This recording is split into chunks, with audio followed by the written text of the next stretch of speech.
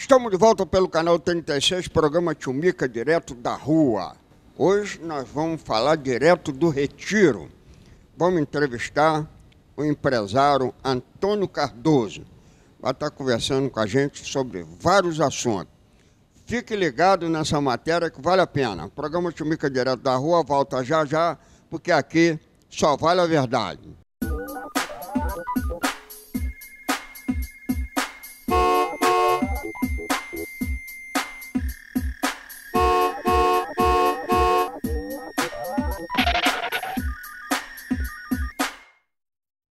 Estamos de volta pelo canal 36, programa Chumica, direto da rua.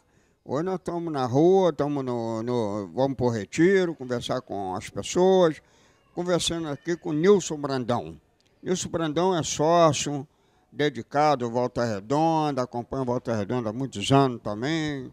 E a gente vai perguntar a você, ô Nilson, como é que você está vendo a situação do Voltaço nesse momento?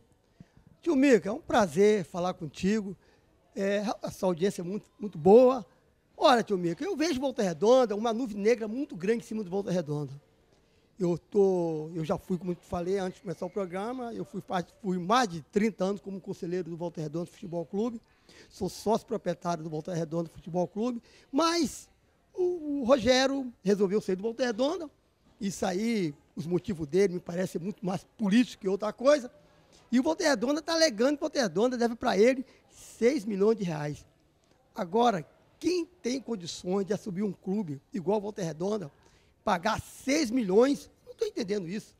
Ele botou o dinheiro, tudo bem, quer tirar o dinheiro, mas é complicado, tio Mico, é muito difícil, porque você vê que o Volta Redonda, é, com a perca do Neto, que o Neto é o presidente do Volta Redonda, pagava 100 mil reais por mês o Volta Redonda, e o Ministério Público proibiu. Volta Redonda, da, da, a prefeitura, passar dinheiro para o futebol. Eu concordo também, eu sou contra isso. Porque o Volta Redonda é uma iniciativa privada. Tem que ter as condições dele. E outra coisa, amigo, você também não pode querer botar o Volta Redonda uma constituição de caridade. Criar muitos núcleos, em bairros, não sei o que lá. Isso é besteira. Na minha opinião, eu acho hoje, que eu estou até afastado do Volta Redonda, que eu não sou mais conselheiro. É lógico, eu venho no jogo, acompanhando. Eu, na minha opinião, eu não sei se você concorda comigo, essa é a minha opinião, tá, gente? Vou ter que passar para a mão do empresário. Que estão vindo de volta redonda. Não estou vendendo o, o Celso da, da, Inglaterra. Pega um homem doido desse aí, porque eu não vejo no momento ninguém em condições de assumir um clube que tem uma média mensal para bancar o time de 400 a 500 mil reais. Eu não vejo assim, eu não vejo. Sinceramente, é muito triste. Outra coisa, meu amigo, Volta Redonda não tem mais torcida. Acabou assim do Volta Redonda. Você abre o portão do Rolinho de Oliveira, você não leva 100 pessoas. Ah, tem. Quando joga aqui Vasco, Flamengo, ou Botafogo, ou algum time desse grande, você tem lá 10 mil torcedores. 9.800 é do Vasco. Não dá nem para dividir mais. Gente, a realidade é essa. Não adianta mentir. Eu sou igual o tio Mica, eu falo a verdade. Dane-se, não quero nem saber. Meu amigo, eu não estou ofendendo ninguém. Só que do jeito que dá, não dá. Outra coisa, tio Mica, que eu sempre falei, que eu trabalhei muito tempo na televisão, na TV Ideal, com a irmã da, da 36, para mandar até um abraço para meu amigo Jader, que é um, olha, pessoa sensacional, tá, tio Mica? O Jader é fantástico. E o que aconteceu? Então, a criação do Raulinho de Oliveira foi ruim em Volta Redonda, tio Mica. O novo Raulinho de Oliveira, o Estado da Cidadania, foi horrível para o Volta Redonda. E muito bom para divulgar a cidade. Por quê? Quando Volta Redonda, o time era aquele estádio de madeira, jogava aqui Flamengo e Vasco, Flamengo uma vez ou outra, a torcida do Flamengo, quando ia no campo, ia Vasco, Botafogo, tudo torcer contra. O que aconteceu com o Rolinho de Oliveira? a inauguração do Rolinho de Oliveira, os maiores clássicos do Brasil foram jogados em Volta Redonda. Flamengo e São Paulo, Fluminense Internacional, Cruzeiro. Qual é o time top de link que não jogou no Volta Redonda? Até a seleção italiana jogou aqui. Então, hoje, o torcedor do, que, que, de Volta Redonda, ele acostumou com o banho de jogos. Você bota lá, Volta Redonda de Madureira, não vai. Nem de graça está indo. É, infelizmente, o Mica, infelizmente, eu amo essa cidade, eu gosto muito de Volta Redonda, apesar de ser vascaíno, que todo mundo tem seu time no Rio de Janeiro. Então, tio Mica, o Raulinho de Oliveira, para a cidade, foi maravilhosa. Ela, eu nunca se divulgou tanta cidade igual o Raulinho de Oliveira. Ah, o Volta Redonda divulga a cidade. Mentira. Quem divulga a cidade hoje é o Raulino de Oliveira, que jogou há pouco tempo aqui, Botafogo e Esporte, né? Televisão, tudo transmitiram. Qual é o jogo que é transmitido em Volta Redonda, a não ser quando joga um time grande? Não existe. Então a situação hoje, tio Mico, que você me perguntou, é periclitante. Hoje tem uma nuvem negra muito grande em cima do Volta Redonda. Eu não... saída para isso? Só entregar na mão de empresário. É chamar os empresários, ligar, tio Mico, você lembra da história? Que ele queria fazer um time real, um time real de Volta Redonda? Por que não chama esses empresários, meu amigo? Desde que você pegar o real, por que, que você não pega o Volta Redonda Futebol Clube? A sugestão minha. Eu sempre falei da minha época, que eu sempre ajudei o Volta Redonda. Muito, né, Muito.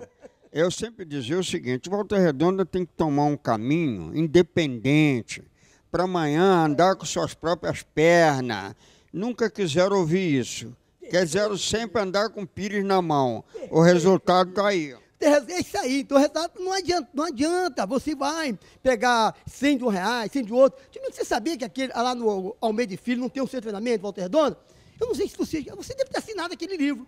Eu fiz um livro naquela época. É, mas você acha que você assinou um livro sim, tio Mico? Fizemos vestiário para juvenil, infantil. Está lá no Almeida, disse, não pode mais. O futebol hoje, tio Mico, é profissional.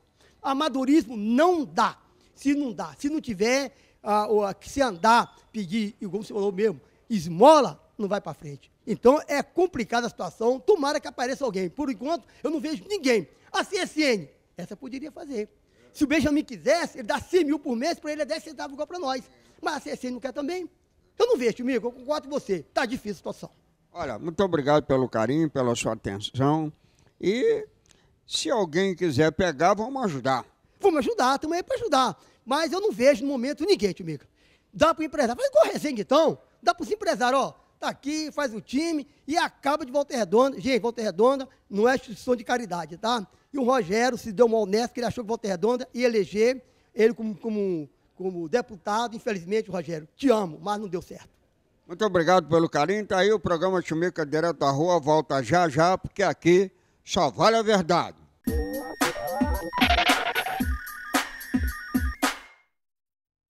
Estão abertas as inscrições para o vestibular Unifoa. Estude no melhor centro universitário do estado do Rio de Janeiro. Inscreva-se pelo site unifoa.edu.br barra vestibular até o dia 1 de dezembro ou no campus do Unifoa, na Vila Santa Cecília. Confira os cursos disponíveis no site. Provas, 7 de dezembro. Unifoa, formando para a vida. Tá calor ou tá frio? Venha para Terme Reis serviço de instalação e manutenção em geral. Oferece saunas, aquecedores, produtos para piscinas e muito mais.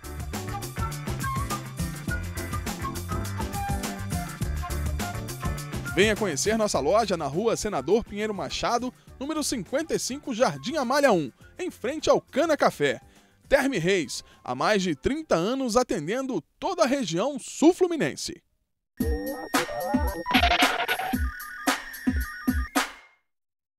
Estamos de volta pelo canal 36, programa Tchumica direto da rua.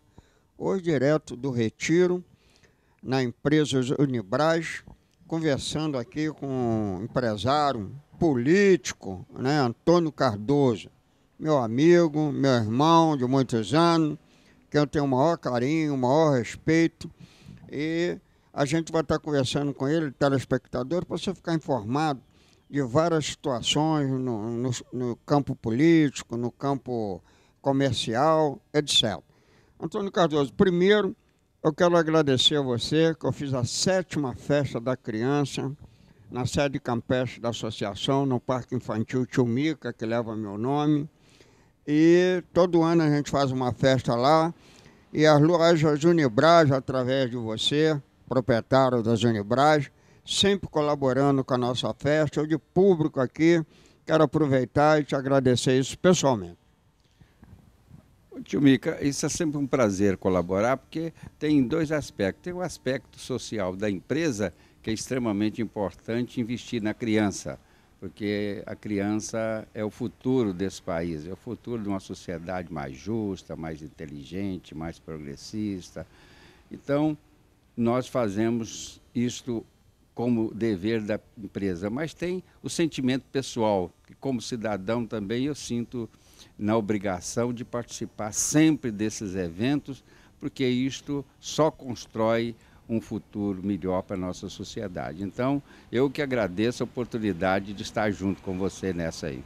Muito obrigado, sempre teve. Eu já fiz a sétima festa, ele teve todas as sete colaborando com a festa da criança. Te agradeço muito.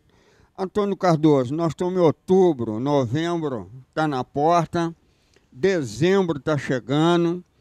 Como é que você vê essa aproximação do Natal, do Ano Novo, e como é que a Unibras está se preparando né, para enfrentar essa demanda do Natal? Nós estamos preocupados porque o final do ano a demanda aumenta.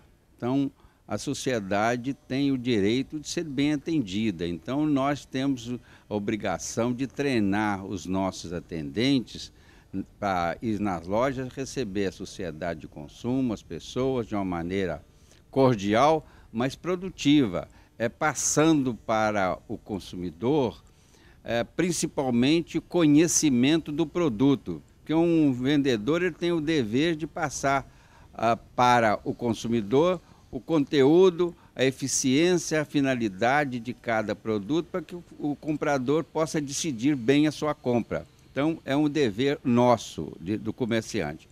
Nós chegamos agora, final de outubro, nós iniciamos aí praticamente o final do ano, porque novembro já é véspera de, de dezembro. Então, nós precisamos hoje é, treinar essas pessoas, porque não existe no mercado hoje uma, uma, um elenco de, de funcionários prontos. Há um esforço aí do CDL, do sindicato, da, do, do SEBRAE, eh, da prefeitura, existe um esforço grande para treinamento de pessoal, mas o treinamento que fazem é muito genérico, ele não é específico. Então, cada área tem que ter a sua especialidade, cada um tem que pegar o funcionário e treinar para, para aquela atividade para que ele seja eficiente no atendimento à população. Então, eu recomendo a todos que visem isso e comecem a contratar para que eh, ele possa atender melhor no final do ano. E a Unibras já iniciou o seu processo, nós estamos agora com o dever de fazer isso, mas não só isso, nós temos o, o dever também de melhorar os nossos quadros de atendente. Hoje a gente tem uma sociedade que muda o perfil dela a todo momento, o perfil do consumidor de um ano atrás não é o mesmo desse, desse ano.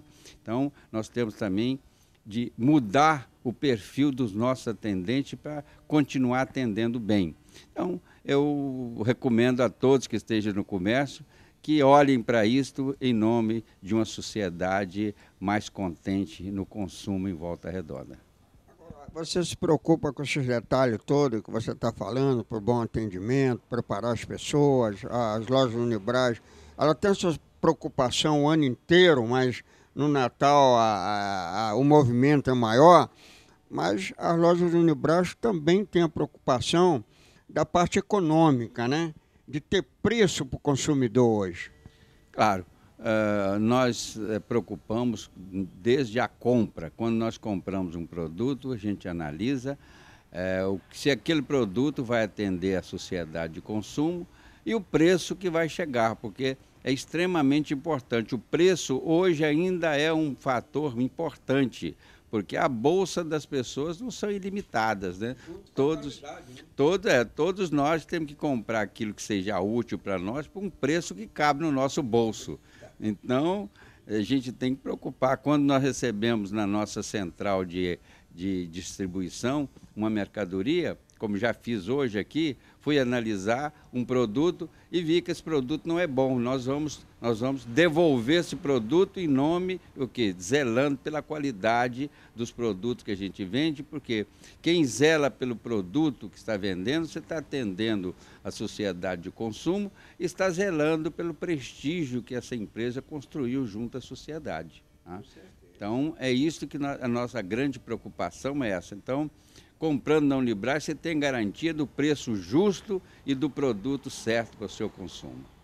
Com qualidade. Nós vamos um breve intervalo comercial e voltamos já já, porque aqui só vale a verdade.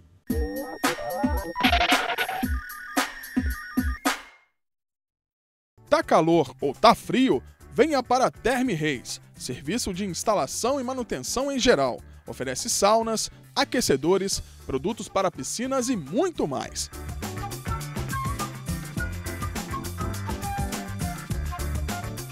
Venha conhecer nossa loja na rua Senador Pinheiro Machado, número 55, Jardim Amália 1, em frente ao Cana Café. Terme Reis, há mais de 30 anos atendendo toda a região sul-fluminense. Estão abertas as inscrições para o vestibular Unifoa. Estude no melhor centro universitário do estado do Rio de Janeiro. Inscreva-se pelo site unifoa.edu.br barra vestibular até o dia 1 de dezembro ou no campus do Unifoa, na Vila Santa Cecília. Confira os cursos disponíveis no site. Provas 7 de dezembro. Unifoa, formando para a vida.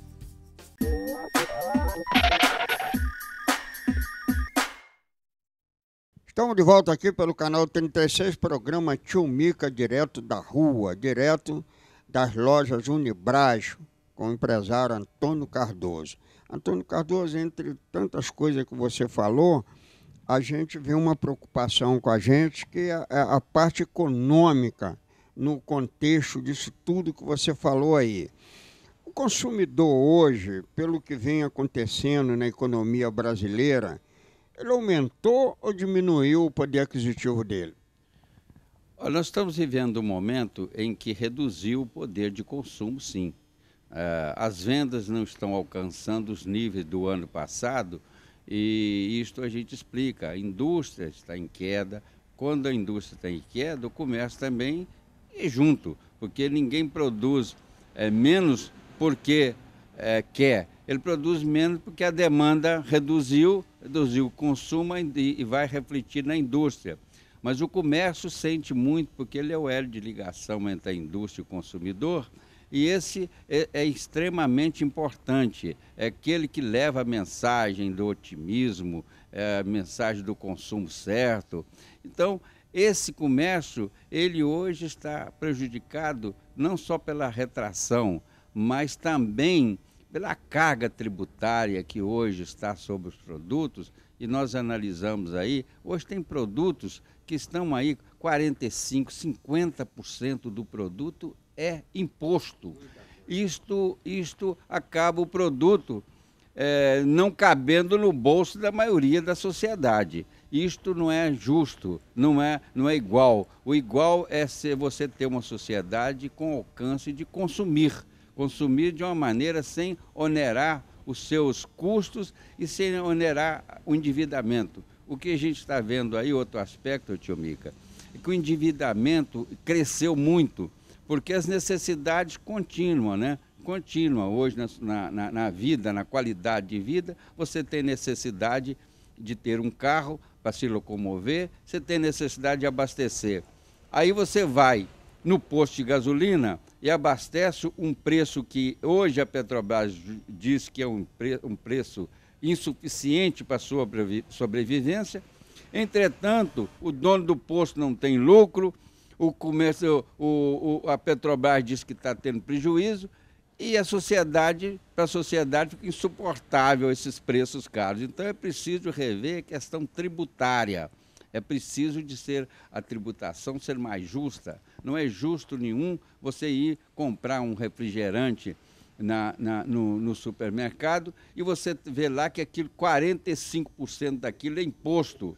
Então, onde vai o lucro? O lucro fica muito pequeno, muito duvidoso e você fica com um preço quase insuportável de consumir. Então, não é justo.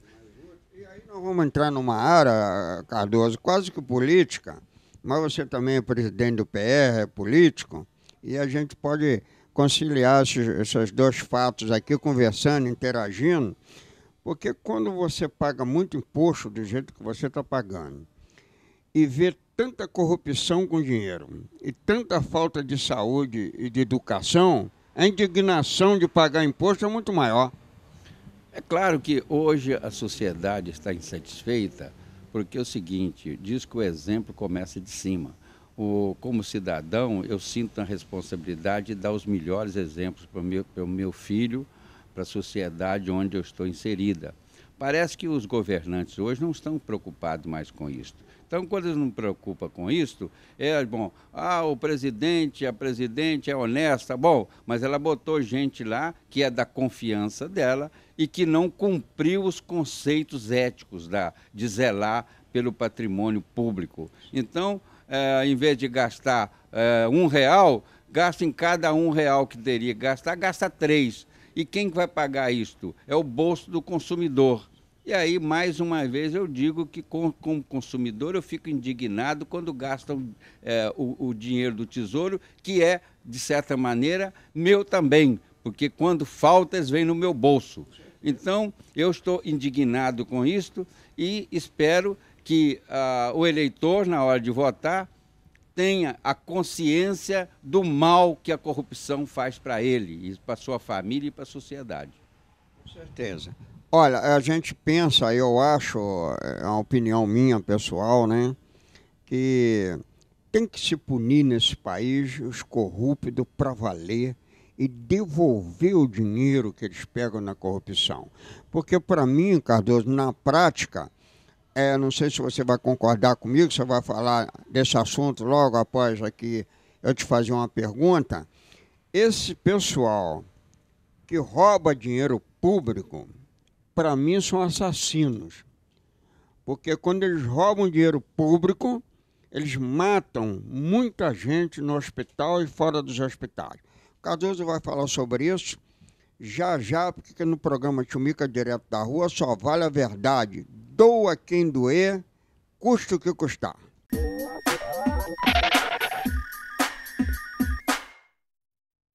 Estão abertas as inscrições para o vestibular Univoa. Estude no melhor centro universitário do estado do Rio de Janeiro. Inscreva-se pelo site unifoa.edu.br barra vestibular até o dia 1 de dezembro ou no campus do Unifoa, na Vila Santa Cecília. Confira os cursos disponíveis no site. Provas 7 de dezembro. Unifoa, formando para a vida. Tá calor ou tá frio? Venha para Terme Reis serviço de instalação e manutenção em geral. Oferece saunas, aquecedores, produtos para piscinas e muito mais.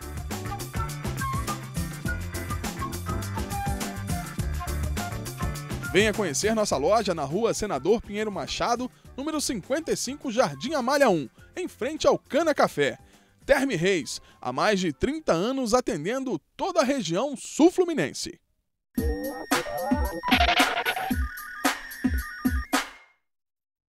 Estamos de volta pelo canal 36, programa Chumica direto da rua, onde só vale a verdade. Falar de coisa séria, de coisa justa, de coisa decente e verdade. Doa quem doer, gosta quem gostar, aqui o que prevalece é a verdade. Antônio Cardoso, você concorda comigo que esses corruptos de dinheiro público matam muita gente nos hospitais? Eu não tenho dúvida disso. É, algum tempo, quando eu conversava com um médico que veio, fez pós-graduação em medicina nos Estados Unidos, ele veio de lá com a mente seguinte, ele disse, o Brasil está errado, porque lá nos Estados Unidos a medicina é socializada. Muito bem, quando ele diz socializada, é que lá o governo cumpre a questão da saúde, que não é barato, mas o governo arrecada e investe bem os seus recursos em nome da, da saúde da sociedade. Bom, aqui parece que isso não está acontecendo, porque o governo diz que é, investe 7% do, dos recursos para, para a saúde pública, mas esses 7% acaba não chegando à fonte. Ele sai 7, mas chega 3.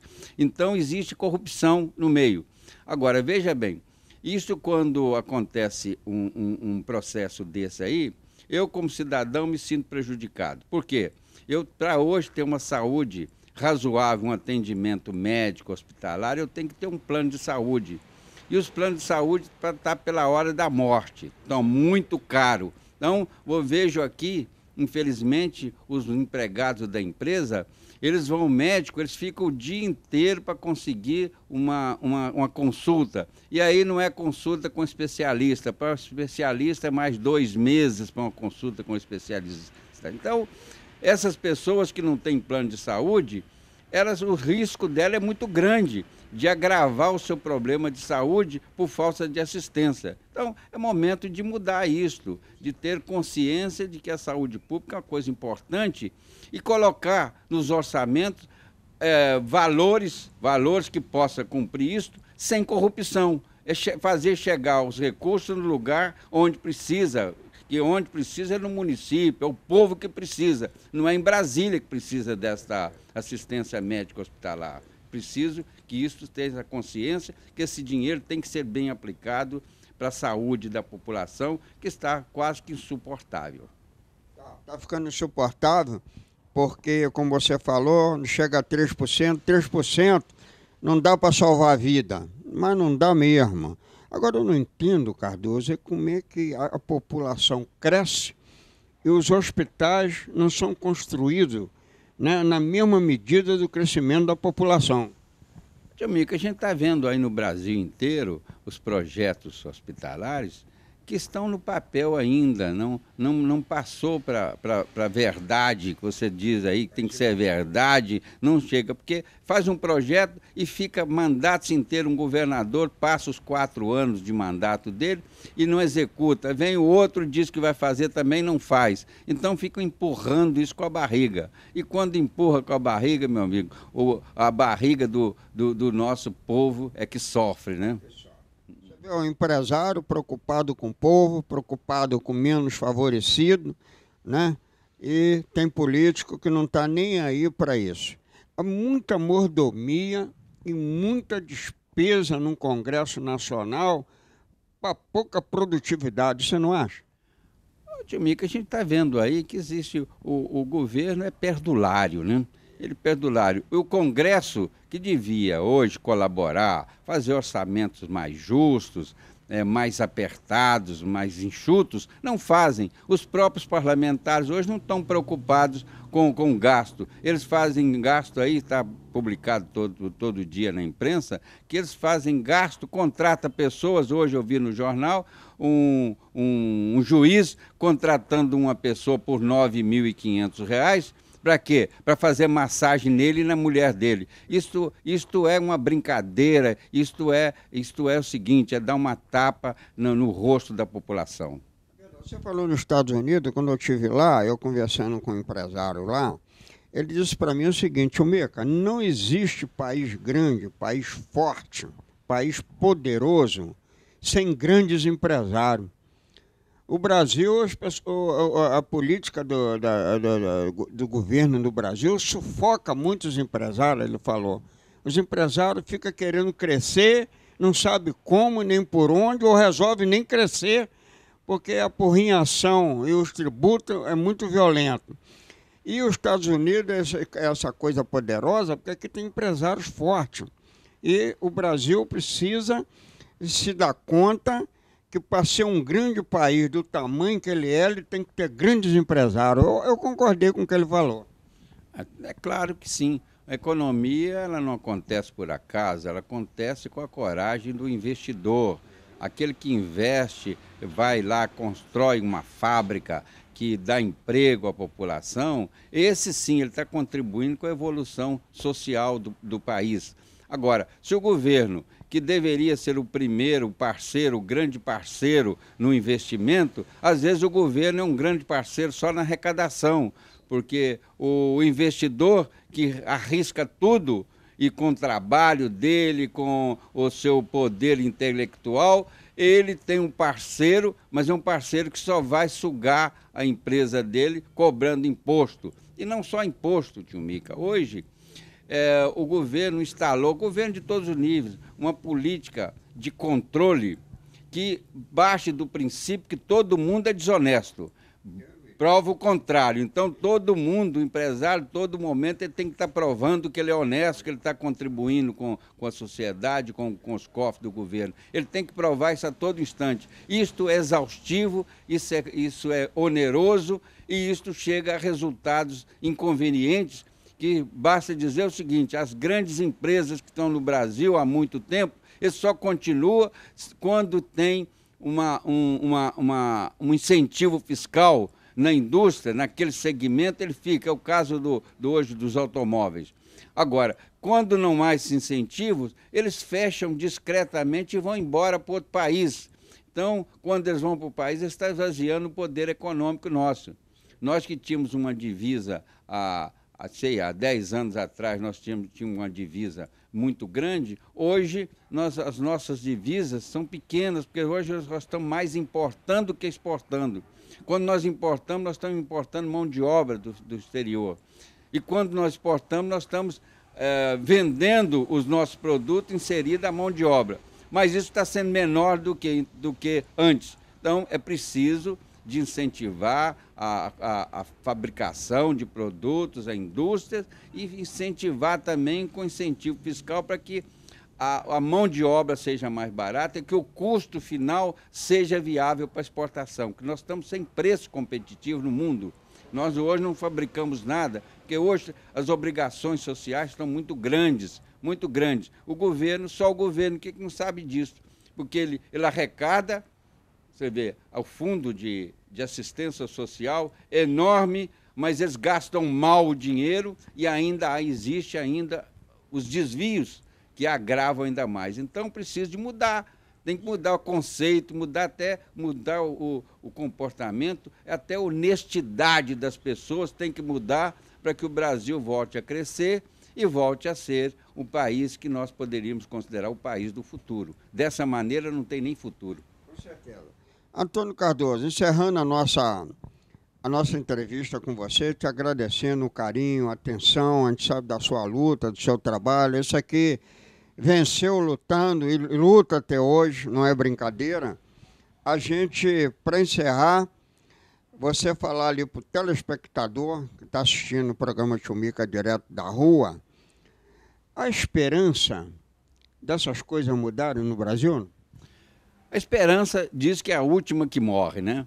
E eu espero que seja a última que morra no, no, na minha consciência, no meu coração, porque é só a esperança dá a gente né, o estímulo para continuar vivendo e, e, continuar vivendo, contribuindo como cidadão para uma sociedade mais justa, mais fraterna, uma sociedade que tem as esperanças de um Brasil melhor. É preciso dessa esperança. E essa fé há de existir, que Deus deve, há de ajudar todos para manter esse estado de fé, para também manter as esperanças aí, para continuar vivendo pelo menos bem com, a, com as pessoas mesmo e bem com a sociedade, porque a esperança é que move a gente né, no entusiasmo de continuar vivendo.